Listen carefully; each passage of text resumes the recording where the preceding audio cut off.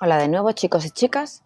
Vamos a ver en este caso, en esta sesión, vamos a ver una cuenta de resultados muy sencilla, ¿vale? El ejemplo 2 que ya vimos en clase hace unos días eh, y que es una cuenta de resultados muy básica y muy sencilla en la cual solo aparecen cuentas de gestión en el enunciado, con lo cual la clasificación es muy fácil. Bueno, ¿cuáles son los datos que nos proporciona el ejercicio?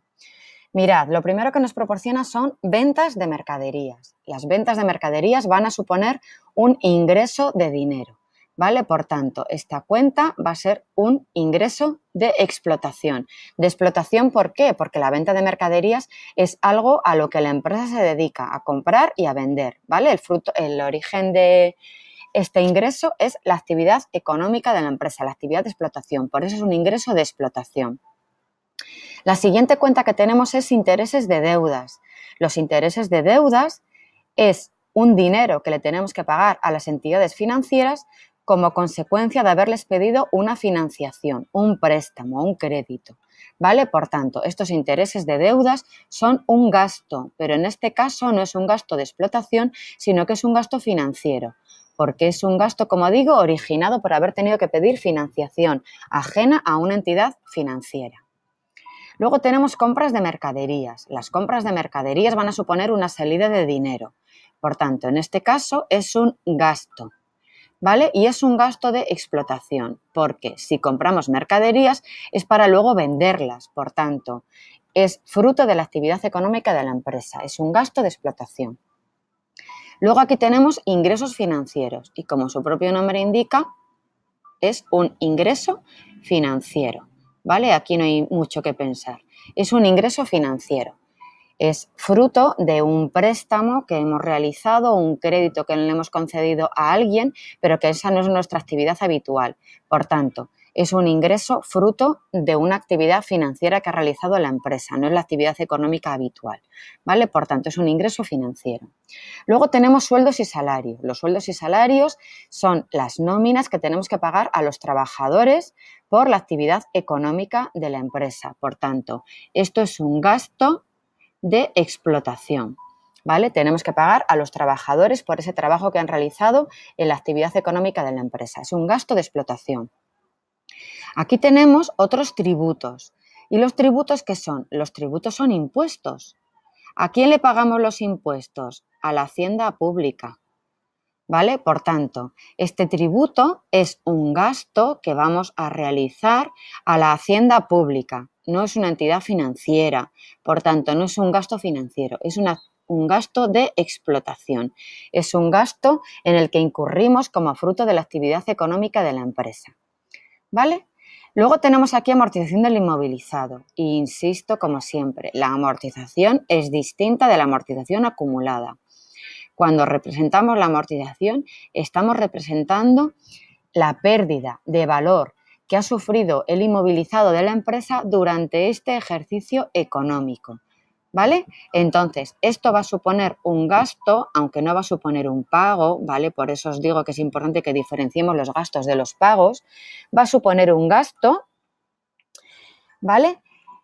De este ejercicio económico y es fruto de la actividad de explotación de la empresa. El inmovilizado sufre pérdida de valor porque lo estamos utilizando durante la explotación, la actividad económica de la empresa. ¿Vale? Es un gasto de explotación. Luego tenemos seguridad social a cargo de la empresa. Este gasto de seguridad social, y ya lo acabo de decir que es un gasto, ¿vale? Va asociado al pago de los sueldos y salarios de los trabajadores, ¿vale? Por tanto, es un gasto y supondrá un pago a la seguridad social, ¿vale? Y es un gasto de explotación. Es un gasto que va asociado a la actividad económica de la empresa y va vinculado directamente al pago de sueldos y salarios. En función de esos sueldos y salarios tenemos el cargo de la seguridad social que la empresa tiene que pagar posteriormente a la seguridad social. Luego tenemos suministros. Aquí tenemos luz, agua, gas, internet, teléfono, ¿vale? Y por tanto, esto representa un gasto de explotación. Es un gasto que la empresa tendrá que pagar en algún momento, ¿vale? A las empresas que nos suministran luz, agua, gas, teléfono, etcétera. Y por último, tenemos la variación de existencias. Esta variación de existencias la podemos representar en la parte de los gastos de explotación o de los ingresos de explotación, en función de si las existencias iniciales son mayores o menores a las existencias finales. Si las existencias iniciales son, perdón, si las existencias finales son mayores a las existencias iniciales, aquí tenemos un ingreso, como en este caso. Existencias iniciales nos dice son inferiores a las finales. ¿Vale? En este caso, esto implica un ingreso de explotación. ¿Por qué?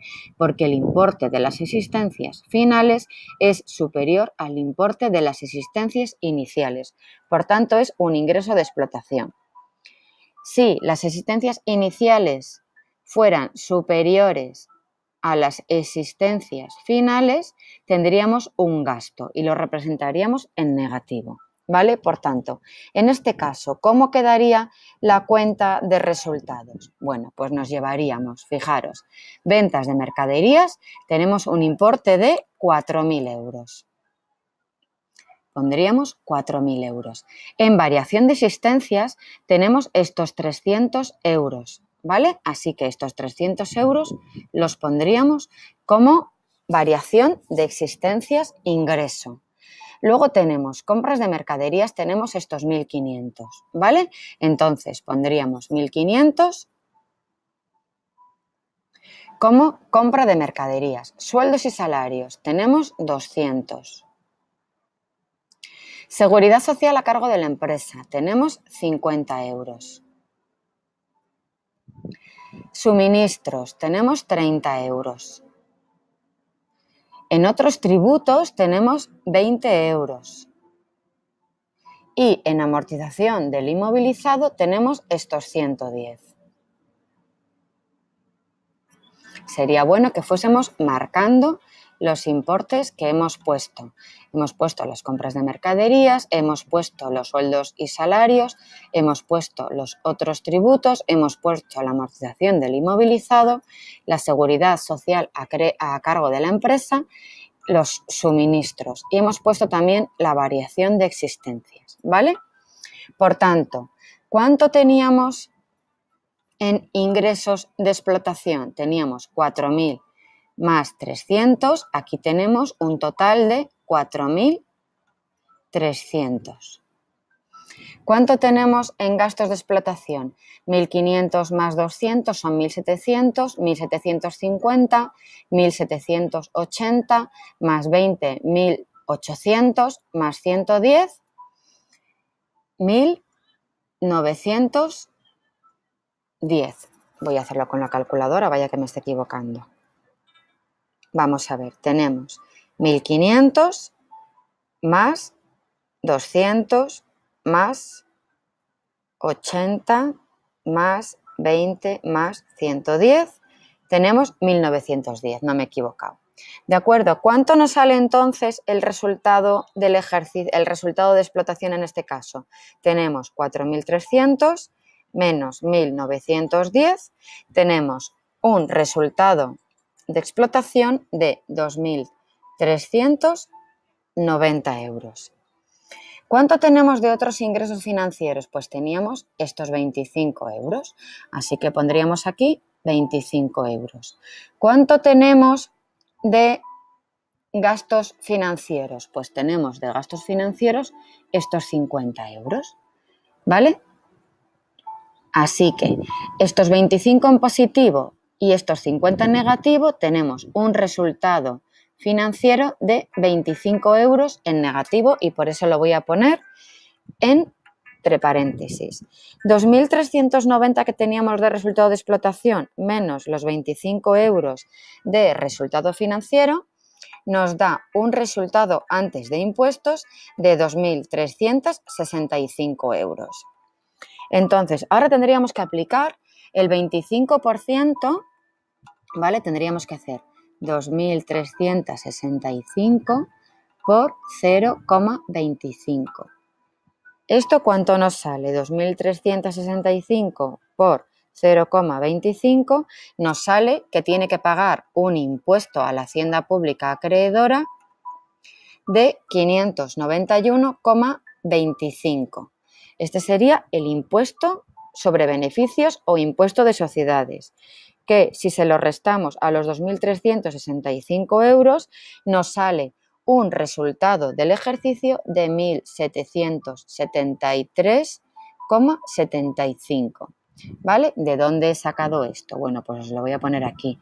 Los 200, perdón, 2.365 euros de resultado antes de impuestos, menos el impuesto de sociedades o impuesto sobre beneficios, nos sale 1.773,75 de resultado del ejercicio.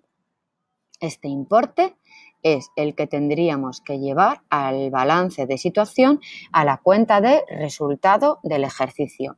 Y por otra parte, tendríamos que reflejar este importe en la cuenta de Hacienda Pública acreedora por conceptos fiscales que lo pondríamos ¿dónde? Pues lo pondríamos en el pasivo corriente o pasivo de corto plazo. ¿Vale? Bueno, pues aquí terminamos el ejercicio. Espero que se haya entendido suficientemente bien. Pues muchas gracias a todos y todas por vuestra atención.